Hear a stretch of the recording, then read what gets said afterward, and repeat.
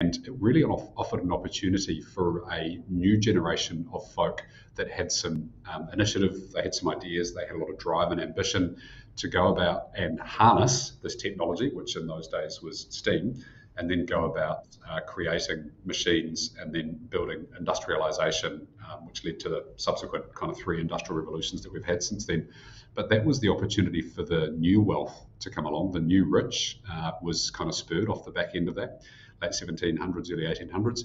And then, of course, there was the birth of the New Worlds, which was um, the Americas, particularly North America. Um, so before that, it was really the domain of um, the, the royalty or those associated with royalty. Uh, and then there was um, people that inherited it, it, over time or maybe served that, um, that royalty or that monarchy.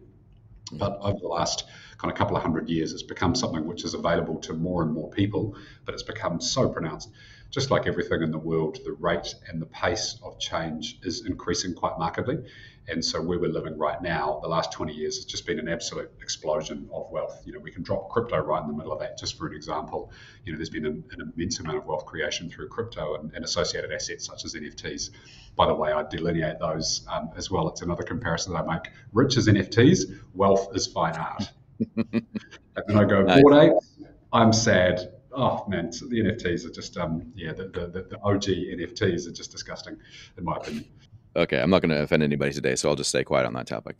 Um, I, I, believe in the class, um, yeah. but what's been produced, you know, the AI producing the bored apes, you know, no, nobody can say that that's fine art. Nobody can. There's just no, no, argument for that being an incredible piece of something you'd want to hang on your wall. I understand yeah. the asset class, um, I don't yeah. get what hype has gone around them because it's not really meeting the original objective of why the people back those things. But yeah, anyway. Yeah. Let's go back a, a little bit around like you're mentioning these different ages, right? So we have the, the first industrial age, and it was when we harnessed the power of steam, right? So there was like this technology existed, it already existed, or I guess the wealth potential already existed, and it just took time, I guess, for people to discover what was already there.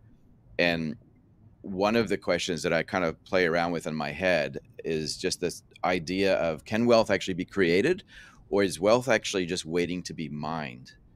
Mm-hmm. Do you have mm-hmm. any kind of perspective on that? Mm, yeah, that's a great question.